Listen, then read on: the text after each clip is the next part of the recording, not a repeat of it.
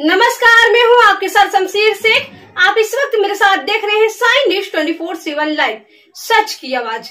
आइए आपको रूबरू करवाते हैं कुछ अहम खास मुद्दों पर। प्रयागराज कोर्ट के अंदर अतीक अहमद के पहुँचने के बाद अधिवक्ताओं ने अतीक के खिलाफ की नारेबाजी की और फांसी की सजा की मांग की। कोर्ट ने अतीक अहमद को उम्र कैद की सजा सुनाई है। प्रयागराज कोर्ट रूम के बाहर बड़ी हलचल। ज़बरदस्त नारेबाजी वकील कर रहे हैं।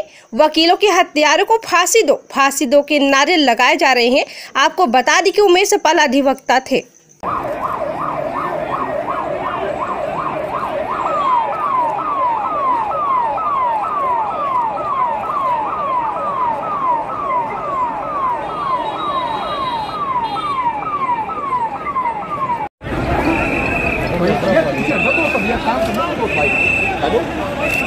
गाड़ी गाड़ी निकल गई, अशरफ की अशरफ की, अशरफ।